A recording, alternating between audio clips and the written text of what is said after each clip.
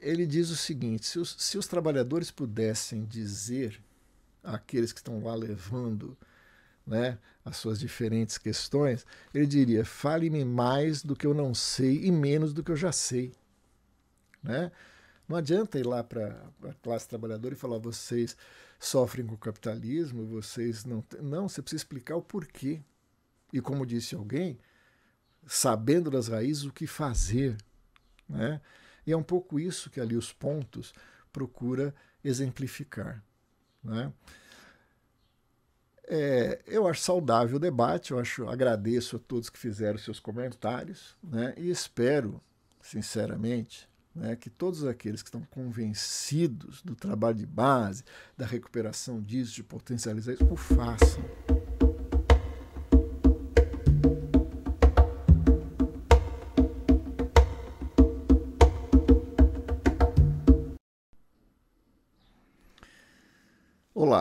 Bem-vindos a mais um Café Bolchevique. Hoje de uma maneira talvez diferente, porque será um, uma conversa a partir das reações que chegaram é, vindas de um texto do blog da Boitempo, o último que foi publicado, em que eu chamei de A Esquerda Tem o que Dizer.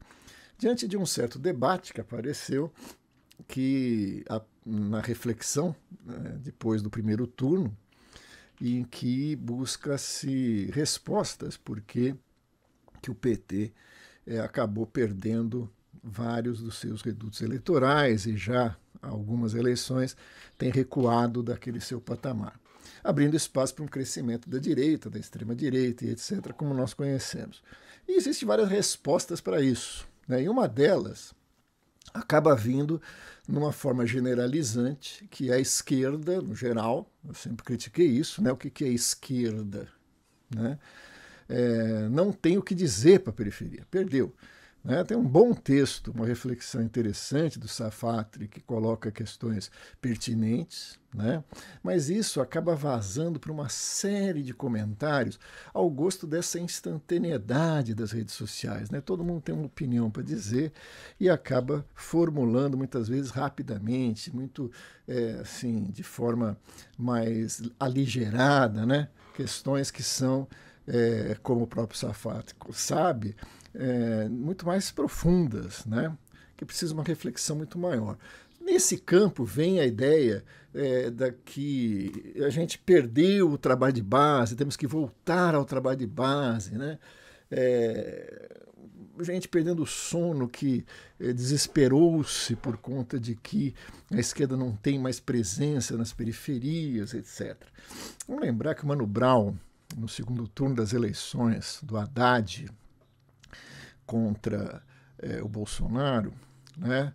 É, naquela festa de vamos unir forças, todos nós lá se, se empenhando, o Mano Brown, no Rio de Janeiro, toca nessa ferida e fala: olha, é preciso a gente pensar por, o que, que aconteceu. E ele vai tocar na ideia da falta do trabalho de base. Ora, eu quero comentar algumas coisas, tanto daqueles, daquela diversidade de comentários que vieram uh, na esteira do texto, como essa impressão que tem consolidado entre nós de que a esquerda, ainda caminhando nessa generalidade, distanciou-se do trabalho de base, e é isso é que provoca, e portanto aí vem a solução: voltemos ao trabalho de base. Então, quero refletir um pouco sobre isso. Mas antes, voltemos a alguns comentários. Parece que um ponto que foi bastante incômodo foi o caros pobres, chamar os pobres de pobres. Isso gerou uma reação. Que é isso? Como se pobre fosse uma palavra ofensiva, né? Olha, os pobres, né? Veja, eu quero explicar isso. Quem teve aula comigo, participou de atividades de educação popular, etc., tal, sabe que eu uso isso frequentemente e continuaria usando. Né? É uma boa palavra, é uma palavra que é, uma, é um conceito preciso, tanto na bibliografia, é, na literatura de esquerda, marxista, revolucionária, né, como aquilo que em torno dela se dá utilizada largamente, é um objeto de estudo fundamental e é uma situação social bastante precisa. Né? Basta ver o clássico da, né, da Yasbeck sobre as classes subalternas, ver o livro, belíssimo livro do Serviço Social e Pobreza da Luana Siqueira, que você vai ter ali uma categoria muito precisa. Né? E, e não tem nada de ofensivo nisso. Né? E eu quero explicar aqui por quê.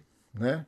Num debate fraterno com os companheiros que ficaram tão tão irritados com isso. Né? A palavra, o conceito pobre, ele tem a precisão de revelar o que outros, outros termos escondem.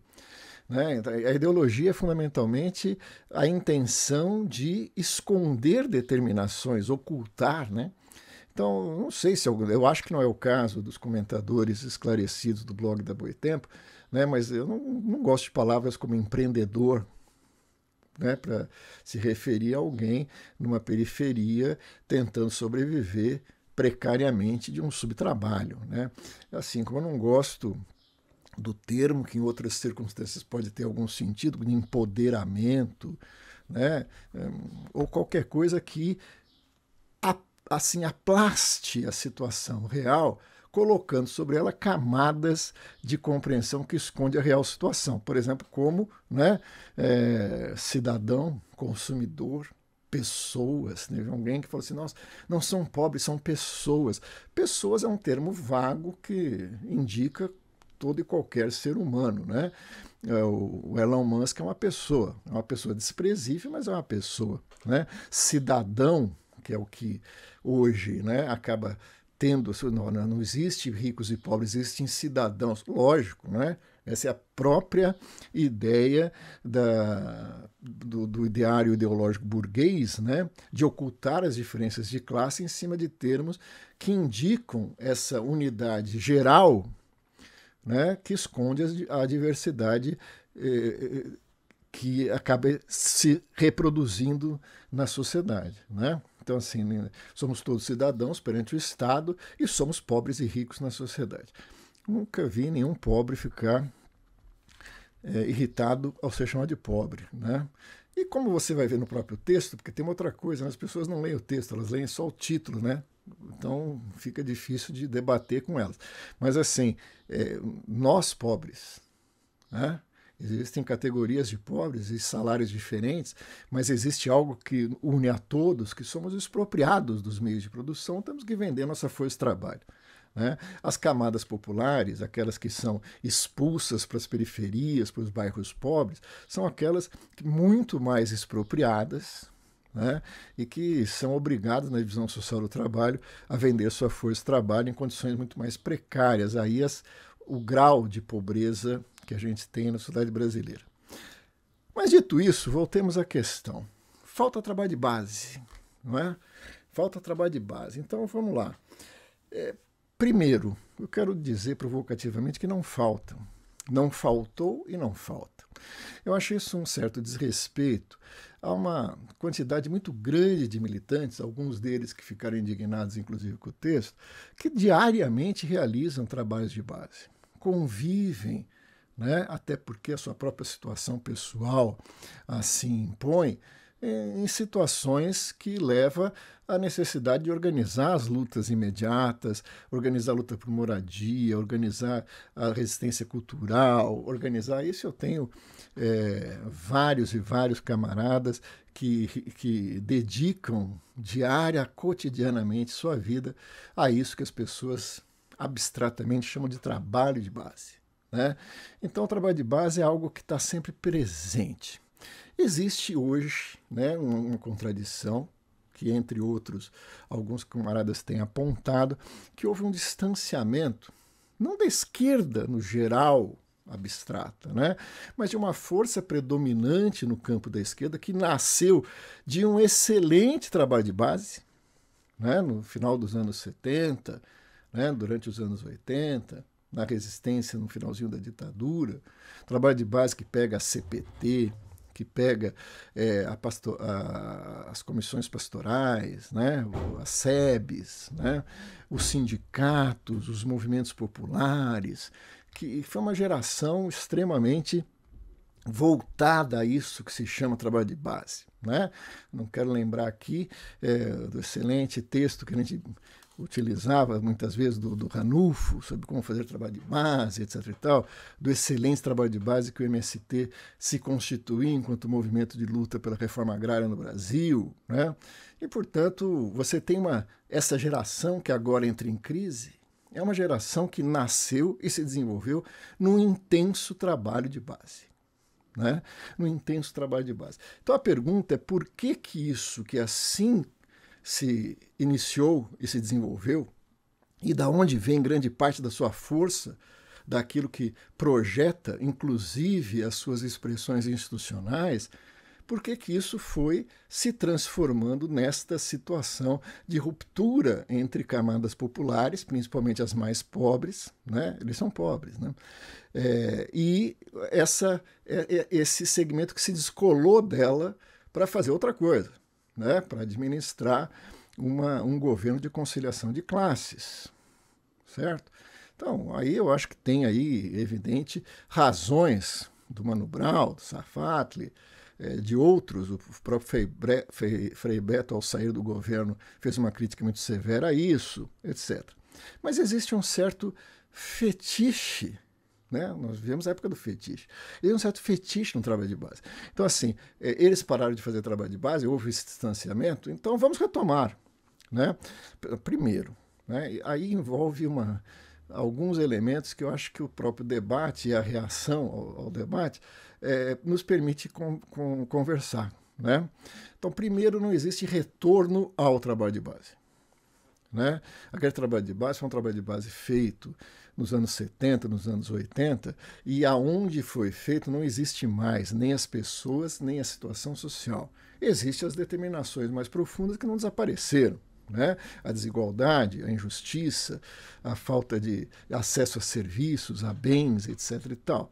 Né? Isso permanece, permanece ainda mais agravado, como sabemos. No entanto, veja bem, a, a situação mudou. Né? Aquela geração vinha de uma, de uma, de uma conjuntura econômica, política, social, que produziu uma fusão dessas diferentes particularidades, né?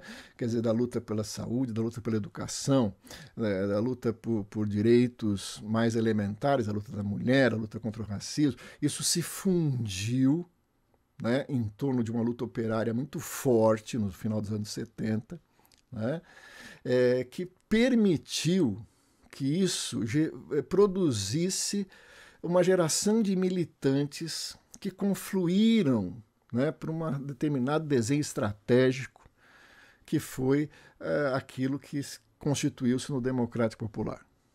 É? Então, esse é um momento histórico muito preciso.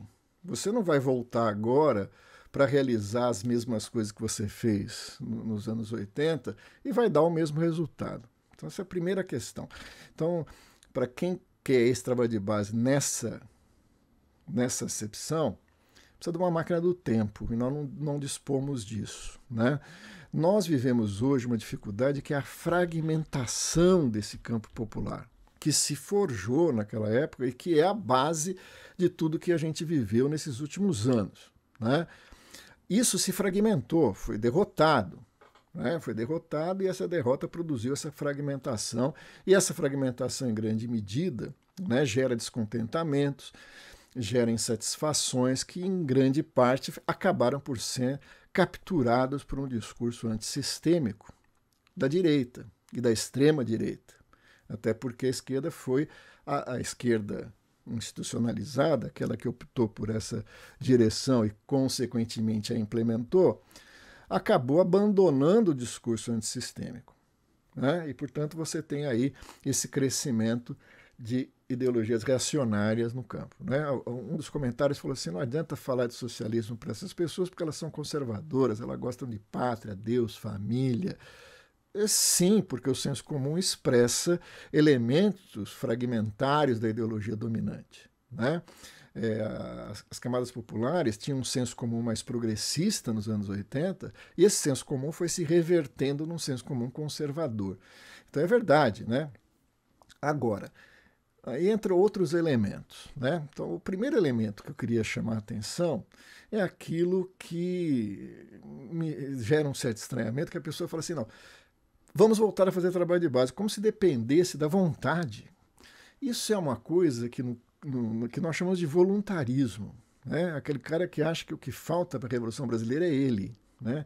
É um, um certo res, resquício de uma ideia iluminista mal elaborada, né, lá dos tempos da burguesia revolucionária, que acha que o que falta é ir lá e comunicar às pessoas que é preciso agir de forma diferente. Então eu vou lá, vou fazer meu trabalho, vou convencer as pessoas, e aí vai dar tudo certo, porque o que falta é isso. Né? Então, no fundo, no fundo, é um voluntarismo. Né? Como um, um, camarada que disse certa vez que não queria esperar fazer 50 anos para a Revolução acontecer, como se o calendário das mudanças revolucionárias se pautasse pelo aniversário da figura. Né? Quer dizer, não é assim, né? não é assim. Né? As mudanças históricas obedecem a seu ritmo, as contradições amadurecem de formas diferentes, então são conjunturas que exigem mediações políticas distintas. Né? É, isso a gente pode pescar na história e descobrir várias coisas. Então, no, o trabalho de base não pode ser fetichizado. Né? Falta trabalho de base, vamos fazer trabalho de base. Ora, primeiro, está cheio de gente fazendo trabalho de base. Pessoas muito comprometidas, muito bem intencionadas, né? dotadas de uma vontade importante, né? uma ousadia é, saudável. Mas, assim, as dificuldades são, são de outra natureza. Elas não se alteram pela sua vontade que elas sejam diferentes. Né? Então, primeiro é isso. Segundo, que o trabalho, o chamado trabalho de base, é, é o que indica a organicidade de propostas políticas, que são propostas políticas que não podem ser de grupos fora da classe para a classe aqueles que se irritam, né? Ah, lá vem o intelectual querer dizer o que a classe tem que fazer. É verdade, né? Não existe a vanguarda revolucionária aqui, a classe lá e a gente tentando mandar é, SMS para ela entender o que precisa ser feito. É verdade isso. Por isso é preciso algo chamado organicidade. Organicidade é organizar as insatisfações, a vida real e cotidiana e dar forma política a elas, não dar no sentido de oferecer a ela, ó, esse é o sentido que vocês não estão vendo, né? mas de viver conjuntamente uma experiência que seja, acima de tudo, educativa no sentido de apontar né, que as raízes mais profundas dessa sociedade é que estão determinando aquelas diversas situações de injustiça com que a gente se confronta. Daí o trabalho de organização, de lutas sociais, de formação política, que constitui no seu conjunto isso que materializa esse conceito de trabalho de base. Né? Além do voluntarismo, tem outra coisa que se cristalizou na nossa conjuntura e que eu acho muito ruim né? Tem gente que acha bom, eu acho ruim, né? Que é essa ideia de que nada que venha de fora desses espaços é, é saudável, né? Então é o famoso nós por nós, né? Então quem luta naquele, naquele espaço não precisa de ninguém de fora para dizer como eles devem lutar. Ora, veja bem, né? A emancipação dos trabalhadores será obra dos próprios trabalhadores, evidentemente. Né? Quer dizer, são esses segmentos, são esses diferentes setores da classe trabalhadora que precisam se organizar, que precisam lutar, que precisam ser aqueles principais protagonistas de suas próprias lutas. Agora, por que não, há, não é necessário que haja uma conexão entre diferentes lutas? E mais ainda, né, por que, que não há a necessidade dessas diferentes lutas se apropriarem elas próprias de teorias, né, de compreensões do mundo que possam elucidar questões além desse cotidiano imediato? Não é? Eu não vejo por que, que isso possa ser ruim para essas próprias lutas. Não é? é? Isso só pode explicar para um velho preconceito, e é velho mesmo, desculpem aos jovens, mas é muito velho, né?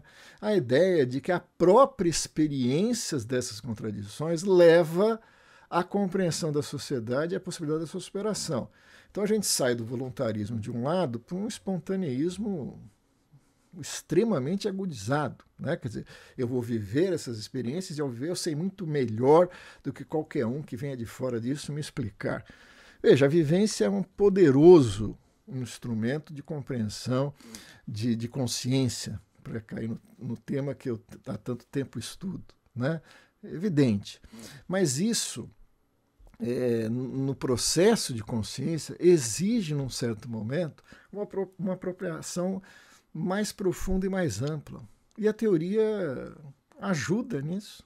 Ela não atrapalha, ela não é algo que vá contra isso, no lugar disso.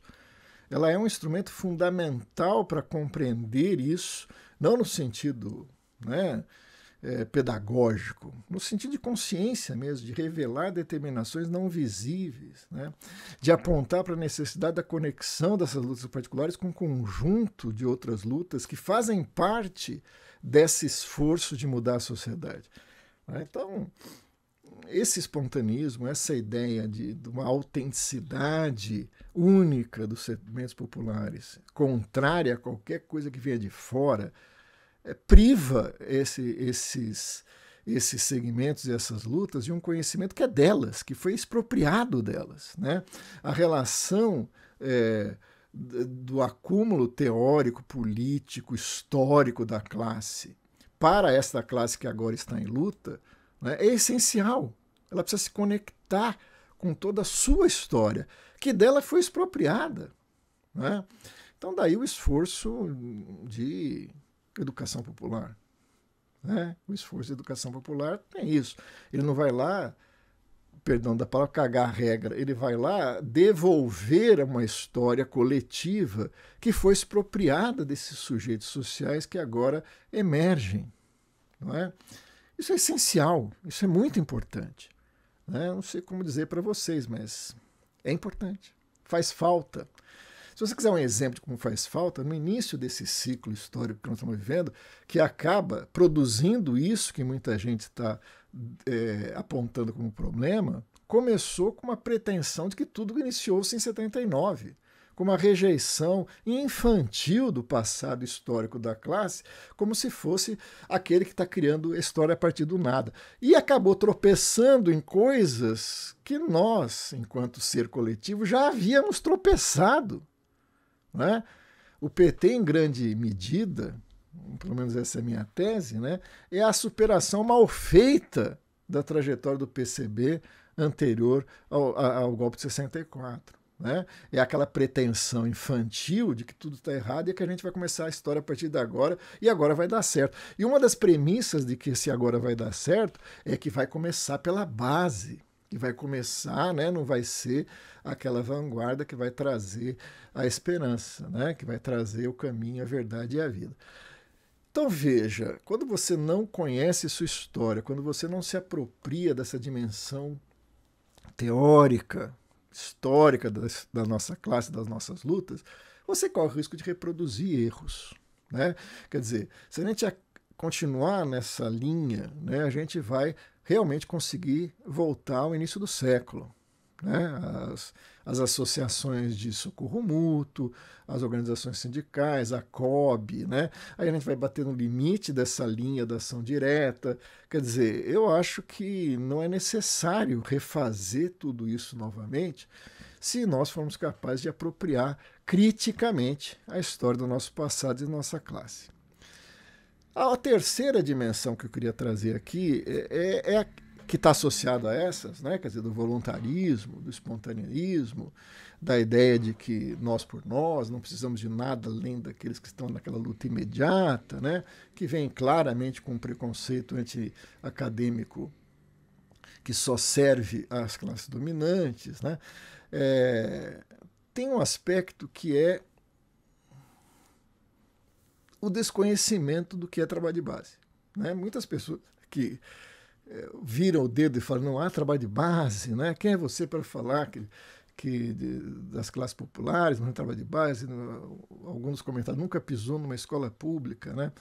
Eu não gosto de ficar declinando currículo, mas quem me conhece sabe, né? Quer dizer, mais de 40 anos fazendo educação popular em todo o Brasil, e não é só nas capitais, nos interiorizões, etc e tal, né? Então, você acumula uma certa experiência né, do, do trabalho de base, e que você pode ter o que falar. Né? Essa cisão entre gerações não ajuda a classe. Ajuda apenas aquela ideia do eterno recomeço. E quem eternamente recomeça, eternamente comete erros similares aos que já foram cometidos. Então é fundamental que a gente baixe a bola e pense um pouco nas tarefas a serem feitas, naquilo que seria o, o nosso a, a, nossa tarefa nessa conjuntura e nessas condições, e aí o buraco cabe todo mundo. Dois últimos elementos, muito rapidamente. Primeiro, que um dos argumentos é né, a esquerda está conversando, falando entre ela. Ela só conversa entre ela. Quem dera, né, acho que uma das dificuldades é que a esquerda tem muita dificuldade em conversar entre ela. Não é verdade isso, né? A gente fala para nós mesmos, tá, certo? Acho que isso tem aquele aspecto da conjuntura, da derrota, que expressa muito bem o poema do Brecht, né? Será que somos aqueles jogados para fora da corrente viva, por ninguém compreendido e ninguém compreendendo? É, uma, é bem descritivo da situação que nós estamos, né? Entanto, veja bem, era bom que a gente conversasse entre nós. Era muito, é, como é que eu posso dizer, produtivo que a gente pudesse conversar entre aquilo que se chama de esquerda e nos botar em acordo em alguns pontos. Porque isso não está acontecendo e isso é muito sério. Isso é muito sério. Veja, não para a esquerda. Também não tenho nenhum problema em apontar o dedo, tocar na ferida das, das questões da esquerda. Faço isso constantemente. Mas não para a esquerda, mas é porque isso é uma expressão política de um momento de fragmentação e derrota da classe. Então, a esquerda podia se entender melhor. E para isso é bom que a gente converse, né? O Plininho é, faz um esforço cotidiano né, da boa conversa. Então, acho que é bom que a gente converse entre nós. A ideia de que a esquerda fala para si mesma é que ela fala coisas que não interessam à classe trabalhadora. E aí que é o, o centro do, do que eu procurei provocar ali no texto do blog da Boitempo. É interessante, eu queria finalizar chamando atenção a isso, que as pessoas ficaram tão preocupadas com o termo pobre, né? com o currículo látis de quem estava falando, né? Com antipatias, que não foram o resto do texto. E quanto ao resto do texto? A classe trabalhadora precisa saber o que é o capitalismo?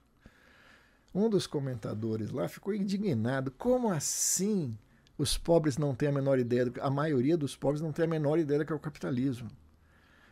Parte da esquerda institucional não tem.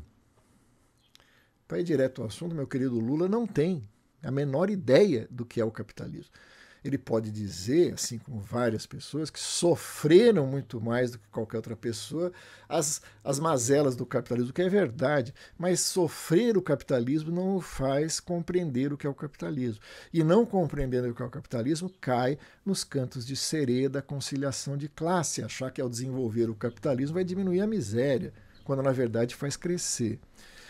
O Lenin, numa das vezes que ele perde a paciência, o Lenin perde a paciência várias vezes, mas numa das vezes que ele perde a paciência, ele diz o seguinte: se os, se os trabalhadores pudessem dizer àqueles que estão lá levando né, as suas diferentes questões, ele diria: fale-me mais do que eu não sei e menos do que eu já sei.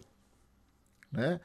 Não adianta ir lá para a classe trabalhadora e falar: vocês sofrem com o capitalismo, vocês não. Não, você precisa explicar o porquê. E como disse alguém, sabendo das raízes o que fazer. Né? E é um pouco isso que ali os pontos procura exemplificar. Né? É, eu acho saudável o debate, eu acho, agradeço a todos que fizeram seus comentários né? e espero, sinceramente, né, que todos aqueles que estão convencidos do trabalho de base, da recuperação disso, de potencializar isso, o façam. Né? É, não vai ser feito por memes, nem por participação em redes sociais, vai ser feito por trabalho real. E é isso que muita gente abnegada está fazendo. Fez a vida inteira. Né? Então a gente pode começar respeitando essas pessoas que há tanto tempo estão construindo isso e muitas vezes na contracorrente, porque quando afirmavam certas coisas, as pessoas estavam muito mais preocupadas em desqualificar isso para legitimar uma linha que acabou levando ao ponto que nós estamos hoje. Então, um bom abraço, um beijo para vocês e bom trabalho de base. Olá, Eu sou Mauro Iazzi e esse é o nosso Café Bolchevique, da TV Boitempo. Todos os meses nós vamos pegar certos conceitos, categorias-chave da teoria marxista e pensar sobre eles à luz dos acontecimentos do Brasil, do mundo, na nossa conjuntura atual. Se inscreva no canal e venha tomar esse café com a gente. É um café encorpado, forte. Quem sabe você acorda. A gente se vê por aí.